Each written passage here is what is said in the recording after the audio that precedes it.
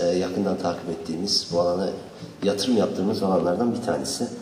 Aslına baktığımız zaman hepimizin geçmişinde e, öyle ya da böyle bir girişimci hikayesi olmuştur. E, Şirketlerinde benzer hikayeleri var. Benim de gençliğimde, çocukluğumda benzer bir e, hikayem abimle birlikte olmuştu. Ne olduğunu burada söylemek istemiyorum ama e, Şimdi e, bu girişimcilik hikayeleri aslında daha sonra bir şekilde e, eğer hakikaten zamanı, ortamı e, yakaladığınız zaman e, başarıyla sonuçlanabiliyor. Ama başarısız sonuçlanma hikayeleri de çok fazla e, görüyoruz, duyuyoruz. E, Türkiye ile ilgili, dünya ile ilgili birkaç veri vermek istiyorum.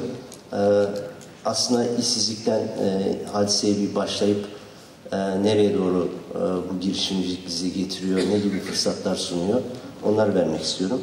Şimdi Türkiye'deki e, TÜİK verilerine göre Haziran döneminde 2 milyon 500 bin yaklaşık bir işsiz e, sayısı var.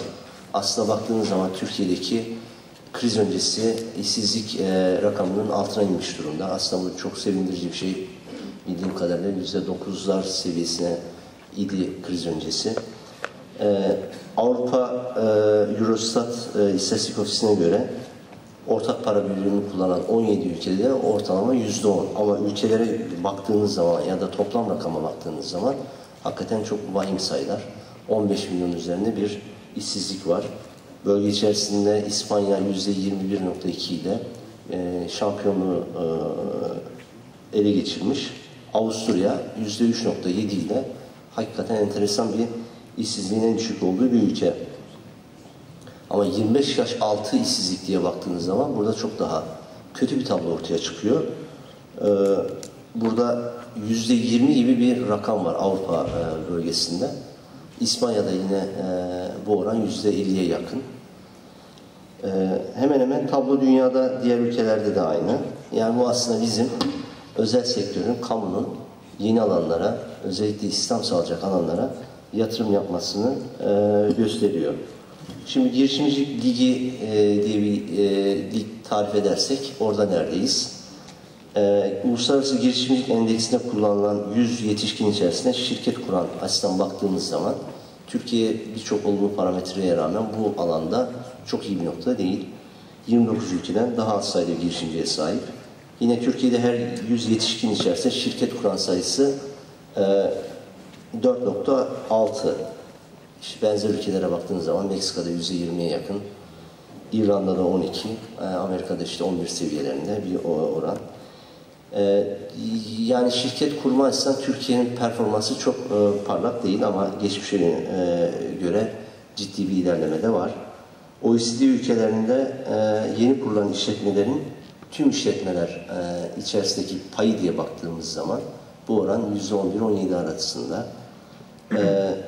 Kapanan iş yerlerin oranı da %9 ile 14 arası. Türkiye'deki oranlar maalesef burada çok düşük. Yani yeni kurulan işletmelerin mevcut işletme stoğu içerisindeki payı Türkiye'de yüzde üç buçuk, kapananlar içerisindeki oranı da yüzde 0.9. Peki bu rakamlar bizi nereye götürüyor? Yani girişimcilik bizim hakikaten sahip olup e, üzerine yatırım yapmamız gereken alanlardan bir tanesi. Bugün e, ağırlıklı konuşacaklar konulardan bir tanesi de bu. Ben aslında sadece burada bir açılış konuşması yapmak istedim ama e, birkaç rakamı da paylaşmak istiyorum. Bugün e, gün boyu bunları tartışıyor olacağız. Rekabet gücümüzü girişimcilikten e, alacağız ve e, riskten korkmak yerine aslında riski yöneten, e, onu yönetmeye niyet eden bir zihni yapı bizi Avrupa'nın, dünyanın bu olumsuz e, yapısı içerisinde çok farklı bir noktaya getirebilir diye şahsi olarak düşünüyorum. Şimdi çağımızdaki girişimcilik hikayelerine baktığımız zaman işte hep Avrupa'daki, Amerika'daki hikayeleri dinliyoruz ki genellikle Amerika'daki garaj hikayeleri vardır geçmişte baktığımız zaman.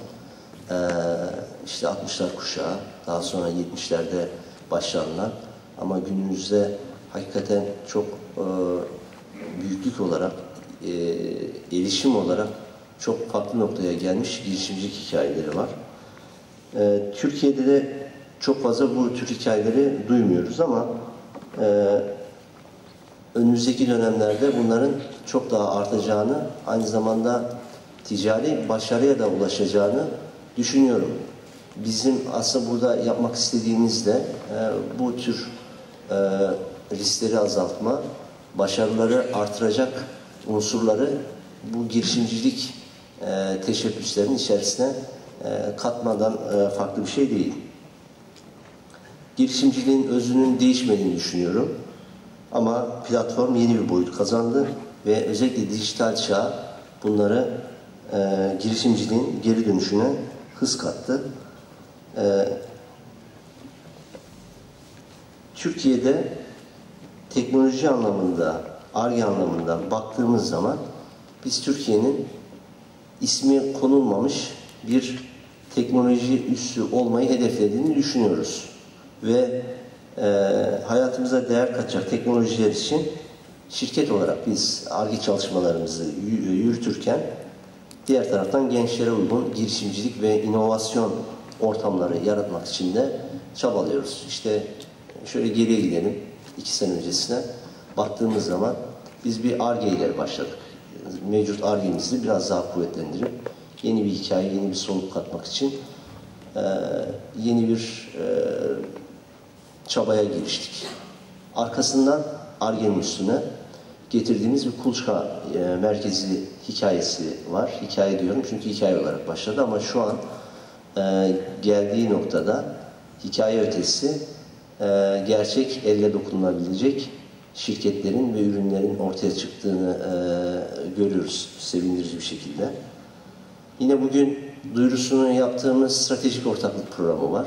Bu stratejik ortaklık programı bizim mevcut iş ortaklarımız e, farklı bir cephe, farklı bir e, yönelişe götürme, e, daha ismiyle anlaşılacağı şekilde daha e, stratejik olarak odaklanıp bu bahsettiğim e, çerçeve içerisinde, dörtlü e, yaklaşım içerisinde e, bunun da önemli bir yapı taşı olacağını düşünüyorum.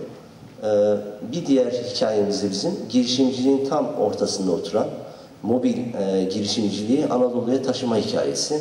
Bir taraftan sosyal sorumluluk projesi gibi görünmekle birlikte e, esasında Türkiye'deki girişimciliği yaygınlaştırma e, ve özellikle bizim alanda mobil anlamda girişimciliği e, bizim bu bahsettiğim dörtlü yapı içerisinde oturtabildiğimiz önemli noktalardan bir tanesi.